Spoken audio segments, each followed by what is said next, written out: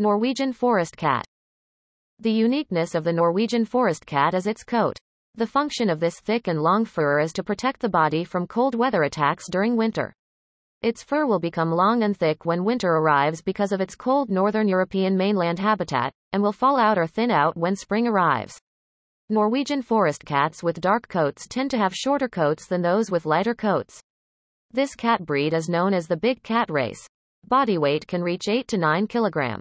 To reach that length and weight, this Norwegian forest cat takes quite a long time.